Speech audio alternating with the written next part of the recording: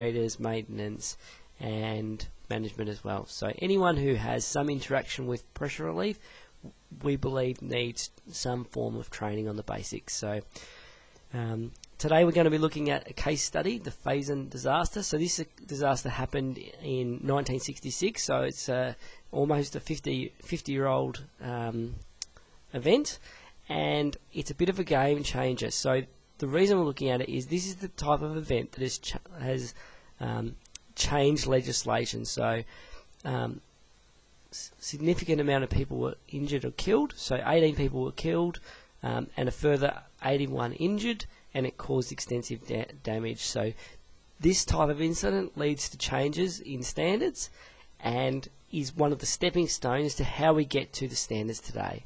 So now this presentation is going to focus not on everything that went wrong in this disaster, but what went wrong or what was the understanding around pressure relief during this disaster, and then how the, the, the new standards are trying to guide us away from that.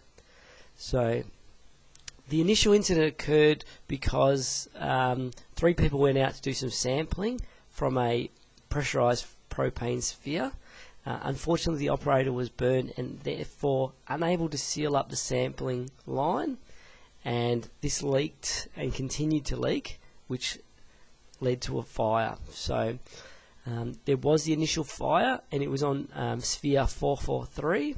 This sphere BLEVEd, so exploded, um, and then this had a domino effect. So once that sphere exploded, exploded, it led to um, significant amounts of destruction, and uh, then other tanks exploding. So you can see here some pictures of the fire as it's occurring and on the right you can see the crater where the initial sphere was. Um, some other things to note is that the other two tanks uh, or two of the other spheres have collapsed so they've fallen off their supports that, and they have exploded and it's also about 1.2 meters from the, the, the bund the bottom of the bund to the to the um, to the sphere so so what actually happened? So the initial three, oh, the initial sampling was at six o'clock. So they went out to the tank at about six o'clock, and they had their, their leak. The initial fire didn't start till approximately 7:20 a.m. So that's when the refinery alarm sounded, fire alarm sounded, and there was firefighting efforts at that time to try and put the tank um, out. Unfortunately, uh, they were nearly successful, but not quite. So the fire continued to, to rage and um, continued on. At 7.45, the relief valve operated. So 25 minutes later, it took 25 minutes for the vessel to heat up to the point where the pressure rose to its above its design pressure and the relief valve opened. So reasons it would have taken that long is it was a significantly sized vessel. Um, it was insulated, so it had insulation, and it also had water spray on it. Um, to note in regards to the water spray that the water spray for this tank turned on, but the water spray for the whole area turned on, and it was insufficient sufficient water to feed the whole system. So it wasn't at its full supply to this tank. So interesting to note there. Um, so relief valve open at 7.45, so 25 minutes to heat up. Relief valve opening most likely opening, closing, opening, closing, opening, closing, um, as it contained the pressure. Pressure maintained at 110%, um, as, as given by the European codes. Um, at 8.30, they connected to the, to the local canal. So at this time, they, they gained more water to try and fight this fire. There was approximately an extra 15 hoses brought in to, to hose the area, and the water water supply was uh, more fully engaged. Now, what's really interesting about about this is those hoses were not directed towards the actual sphere that was on fire. The understanding from um, the operational personnel at the time now, all right, given duress, there's a fire and there's a lot going on, but the understanding was that this that the system had a relief valve. The relief valve was functional, well, was operating. It had a water spray system. It was insulated. So yes, it's on fire, but it was stable. Um, and so they directed their water spray towards the other tanks. So not much water went onto this tank. A further 10 minutes after this, at 8:40, the sphere suddenly ruptured, so it, it BLEVEd, and I believe it was because the area that the unwetted surface area, so if I just try and highlight this, um, became overheated and failed at below its design pressure. So the unheated area here um, had been exposed to the fire at this time for an hour and 20 minutes, and it weakened to the point where it failed below its design pressure. So the, the, the pressure relief was working, water spray was working, insulation was working. The fire was just, it, it, it, it, it had weakened the unwetted area and therefore caused the rupture. And, and once it ruptured, um, was a massive explosion. So a BLEVE, and this is the time where the 18 people were killed and a further eight, uh, 81 injured. Um, from here, so from when the tank um, BLEVEd, there was uh, no more firefighting efforts for about eight more hours. So they stepped back and just let the fire burn itself out. So it, that actually led to more explosions and more damage. So take a look at the area map, you can see the vessels in, in dark grey that have been destroyed and the light grey where there's been damage. And and you can see at the Feyzin village 400 metres away there was damage there from flying um, debris. So, as I said, this is a game-changing incident, and legislation now is trying to guide us away from what actually happened there. So, and how are they doing this? So, when you look at legislation now, one of the main things you find fighting fire, or the main things you find, are sloped ground. So if you've got sloped ground, it it can uh, it takes the fire away. So there's no build up of storage underneath your tank. So sloped ground, we actually reduces the heat um, of of the fire into your vessel by 40%. So it, it's quite a lot of heat removed, and it's just because the fire is running off.